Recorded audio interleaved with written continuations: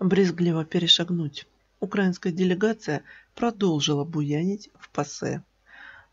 Андрей Бабицкий специально для Украина.ру за 28 января 2020 года. Уже давно впавшая в буйство украинская делегация в парламентской ассамблее Совета Европы продолжает вести себя как стадо бабуинов, в чем он не скрывая, с нескрываемой гордостью извещает публику. В понедельник 27 января, в день открытия зимней сессии депутаты из Украины провалили голосование по кандидатуре представителя России Петра Толстого на должность вице-спикера организации. Сделать это было крайне просто, поскольку в первом туре голосования требуется квалифицированное большинство голосов, то есть две трети от всех участвовавших. Нам удалось заблокировать Толстого, поведал о феноменальной победе кто-то из украинцев на своей странице в соцсетях. Но это лишь одно достижение. Другое – поставлено поставленные под сомнение полномочия российской делегации. Драматические события проходили следующим образом. Литовский представитель Эммануэлис Зингерис выступил против утверждения полномочий России из-за нарушения ею своих обязательств, в том числе из-за агрессии РФ на Украине и в Грузии. Его поддержали 30 депутатов из национальных делегаций, как того требует регламент. Вопрос о полномочиях делегации из РФ был направлен в комитеты для разработки проекта решения. Финальное решение об обжаловании или подтверждении полномочий РФ должно быть принято в течение двух первых дней работы сессии, заявил представитель украинской делегации Алексей Гончаренко.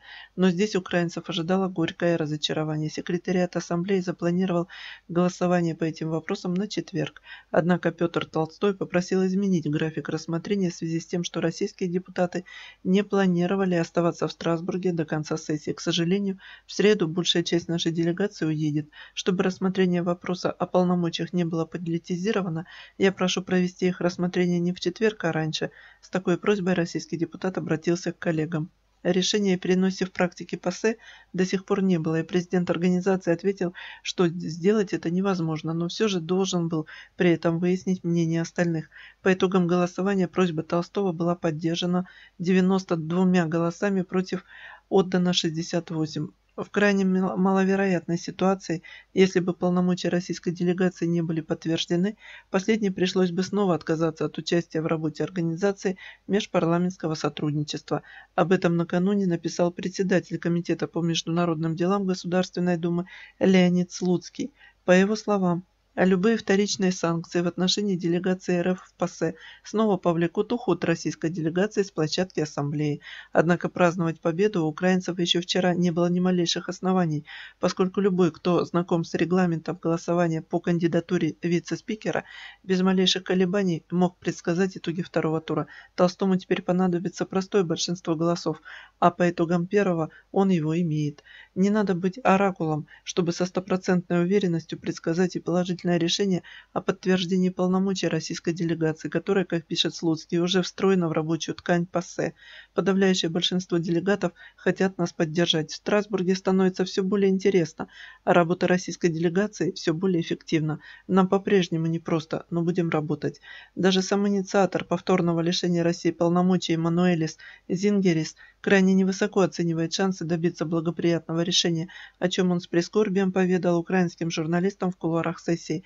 По его словам, таким как он в ПАСе просто закрывают рот.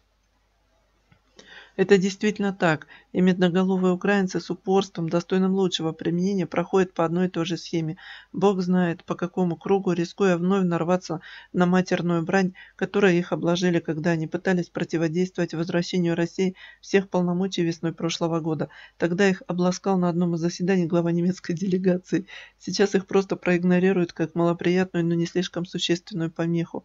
Репутацию невменяемых, скандальных, малосимпатичных персонажей, препятствующих работе, работе ассамблеи, вот просто так из-за дурного характера, без малейших надежд добиться поставленных целей, они себе заработали давно.